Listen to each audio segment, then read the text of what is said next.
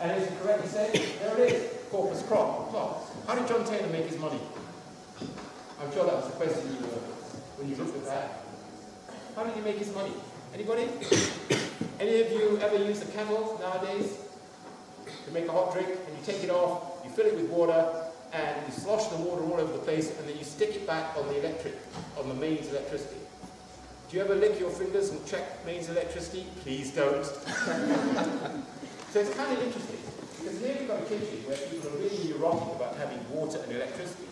And what John Taylor did, he invented a device that allows us to put our kettle just on it, connect, heat our water up, and if water gets there, it doesn't have a problem because of the way he's actually designed the connections in a very good way.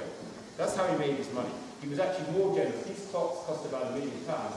He's bragging with corpus, and he actually gave an enormous amount of money to convert their libraries. So he's also a nice. And why the grasshopper? It's the passage of time.